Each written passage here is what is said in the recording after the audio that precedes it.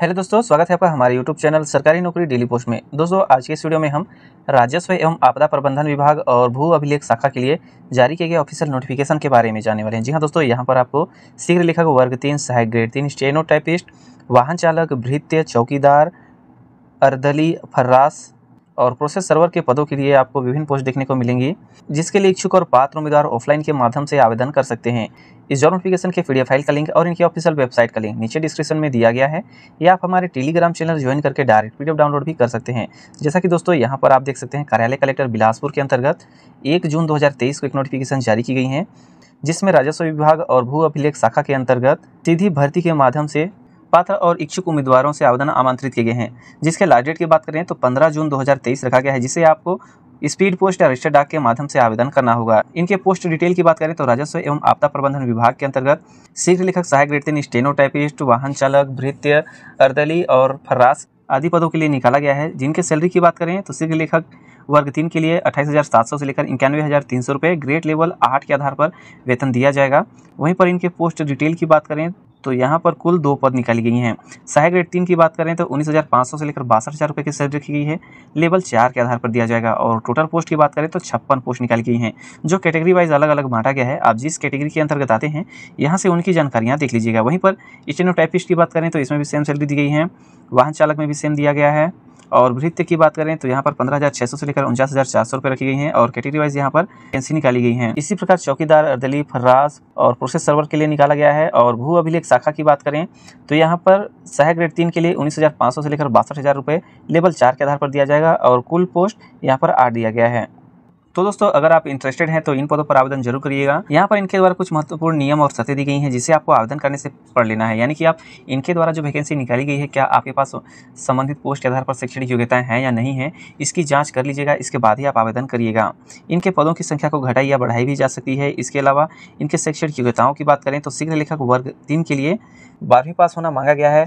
या इसके अलावा अगर आप पुरानी हायर सेकेंडरी परीक्षा उत्तीर्ण किए हैं और साथ में किसी भी विषय में स्नातक पाठ्यक्रम की प्रथम वर्ष अगर उत्तीर्ण कर चुके हैं तो आप इन पदों पर आवेदन कर सकते हैं। इसके अलावा मान्यता प्राप्त मंडल या संस्था से शीघ्र लेखन, मुद्र लेखन परीक्षा परिषद से उत्तीर्ण होना मांगा गया है। शीघ्र लेखक हिंदी के लिए सौ शब्द प्रति मिनट की गति से कौशल परीक्षा ली जाएगी। वहीं पर अंग्रेज़ी के लिए भी कौशल परीक्षा लिया जाएगा और द्विभाषी यानी कि हिंदी, इंग्लिश दोनों के लिए कौशल परीक्षा लिए जाएँगे। साथ में आपके पास मान्यता प्राप्त संस्था से डाटा एंट्री ऑपरेटर या प्रोग्रामिंग में एक वर्षीय डिप्लोमा या प्रमाण पत्र होना चाहिए, तथा डाटा एंट्री की गति, दस हज़ार की डिप्रेशन की गति के हिसाब से कौशल परीक्षा लिया जाएगा। सहायक ग्रेड तीन की बात करें तो यहाँ पर बारहवीं पास मांगा गया है। या वैसे ही आप पुरानी हायर सेकेंडरी से परीक्षा उत्तीर्ण किए हैं, और साथ में किसी भी विषय के स्नातक पाठ्यक्रम की प्रथम वर्ष परीक्षा उत्तीर्ण कर चुके हैं तो आप इन पदों पर आवेदन कर सकते हैं। साथ में आपके पास डाटा एंट्री ऑपरेटर या प्रोग्रामिंग में एक वर्षीय डिप्लोमा होना चाहिए और पाँच हज़ार की डिप्रेशन की गति के हिसाब से हिंदी टाइपिंग टेस्ट लिया जाएगा। दोस्तों, यहाँ पर सहायक ग्रेड तीन के लिए कोई भी मुद्र लिखन या शीघ्र लिखन का सर्टिफिकेट नहीं मांगा है तो आप इन पदों पर आवेदन कर सकते हैं। स्टेनो टाइपिस्ट की बात करें तो इसमें भी सेम क्राइटेरिया दी गई है, आप यहाँ से चेकआउट कर लीजिएगा। इसी प्रकार दोस्तों, यहाँ पर इन्होंने टिप दिया हुआ कि विज्ञापित पद क्रमांक एक दो तीन के लिए यहाँ पर जो संस्थाएँ दी गई हैं, उनमें कंप्यूटर विषय से संबंधित जो निम्नांकित परीक्षाएँ उत्तीर्ण अगर किए होंगे या आपके पास प्रमाण पत्र डिप्लोमा या उपाधि होगी तो उन्हीं, इन्हीं के आधार पर आपको प्राथमिकता दिया जाएगा। यानी कि यहाँ पर आईटीआई से कंप्यूटर पास मांगा गया है। साथ में आपके पास मान्यता प्राप्त बोर्ड ऑफ़ टेक्निकल एजुकेशन से या राज्य तकनीकी विश्वविद्यालय द्वारा प्रदान किया गया कंप्यूटर साइंस या इन्फॉर्मेशन टेक्नोलॉजी या मॉडर्न ऑफ़िस मैनेजमेंट का डिप्लोमा मांगा गया है। या आप मान्यता प्राप्त विश्वविद्यालय या डीम्ड यूनिवर्सिटी या इंदिरा गांधी मुक्त विश्वविद्यालय या भोज विश्वविद्यालय द्वारा जो प्रदत्त computer science information technology computer application में एक वर्षीय पीजी डिप्लोमा या स्नातक या स्नातकोत्तर की उपाधि होना चाहिए। इसके अलावा यहाँ पर चौथा पॉइंट में देख सकते हैं। डी ओ ई ए सी सी सोसाइटी नई दिल्ली द्वारा प्रदत्त विभिन्न डिप्लोमा होना चाहिए। वाहन चालक की बात करें तो इसमें आठवीं पास मांगा गया है और हल्के वाहन चलाने का आपके पास वैध लाइसेंस होना चाहिए। और भृत्य, चौकीदार, अर्दली, फर्रास और प्रोसेस सर्वर की बात करें तो यहाँ पर सिर्फ़ और सिर्फ़ पाँचवीं पास मांगा गया है। अगर आपके मार्कशीट में ग्रेड सिस्टम दिया गया है तो यहाँ पर आप देख सकते हैं कि ग्रेड ए रहेगा, अधिकतम नब्बे प्रतिशत अंक दिया जाएगा, वहीं पर अगर बी ग्रेड है तो अधिकतम तिहत्तर प्रतिशत दी जाएगी। वैसी प्रकार ग्रेड सिस्टम यहाँ पर दिया गया है। अगर आपके मार्कशीट में है तो यहाँ से चेकआउट कर लीजिएगा। अब इन पदों पर आवेदन करने के लिए कितना एज लिमिट मांगा गया है? तो यहाँ पर देखिए, अठारह वर्ष से लेकर पैंतीस वर्ष के बीच में मांगा गया है। जिनके आयु की गणना 1 जनवरी 2023 की स्थिति में की जाएगी, लेकिन यहाँ पर आरक्षित वर्गों को आयु सीमा में छूट दी गई है। अगर आप आयु सीमा में छूट पाना चाहते हैं तो उससे संबंधित आपको डॉक्यूमेंट सबमिट करना होगा। अब आवेदन पत्र आप कैसे जमा करेंगे? तो देखिए दोस्तों, अगर आप एक से ज़्यादा पदों पर अगर आप आवेदन करते हैं तो आपको अलग अलग आवेदन फॉर्म भरना होगा, जिसके लिफाफे के ऊपर आपको उस पद का नाम, जाति वर्ग तथा आवेदक का नाम, यानी कि अपना नाम और पता, पिन कोड सहित आपको लिखना होगा। साथ ही साथ एक स्वयं का पता लिखा हुआ जिसमें पाँच रुपये का डाक टिकट आपको चस्पा करके संबंधित दस्तावेज़ के साथ आपको अटैच करना होगा। और दोस्तों, जैसे मैंने बताया था आपको, इन पदों पर आवेदन करने के लिए आवेदक को छत्तीसगढ़ राज्य का मूल निवासी होना अनिवार्य है। यानी कि अगर आप छत्तीसगढ़ राज्य के किसी भी ज़िले में रहते होंगे तो आप इन पदों पर आवेदन कर सकते हैं, जिसके लिए आपको निवास प्रमाण पत्र संलग्न करना होगा। इसके अलावा आपके पास रोज़गार कार्य में जित पंजीयन का होना अनिवार्य है, और अगर आप शासकीय और शासकीय संस्था में कार्यरत हैं तो आपको अनापत्ति प्रमाण पत्र भी प्रस्तुत करना होगा। इसके अलावा पासपोर्ट साइज़ का एक फ़ोटो आपको चश्मा करना होगा, जिसमें आपको स्वयं द्वारा सत्यापित भी करना है।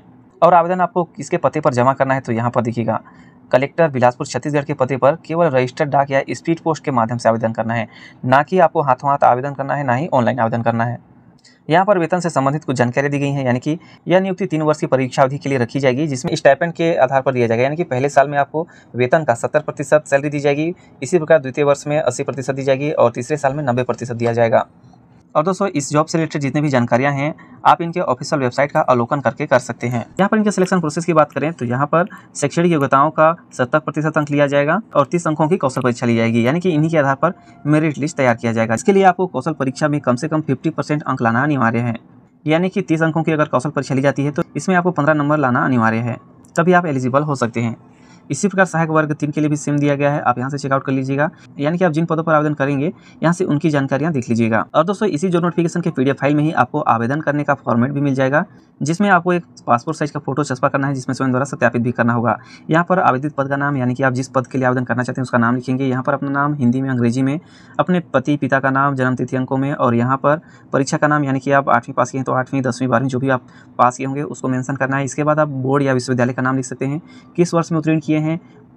टोटल अंक कितना था, मिला कितना है और उसका प्रतिशत कितना है, उनसे संबंधित आपको डॉक्यूमेंट्स भी सबमिट करना होगा। इसके अलावा यहाँ पर पत्र विभाग का पूर्ण पता भरना है। भरने के बाद आप जो भी डॉक्यूमेंट सबमिट करेंगे, उनकी सूची यहाँ पर देनी होगी।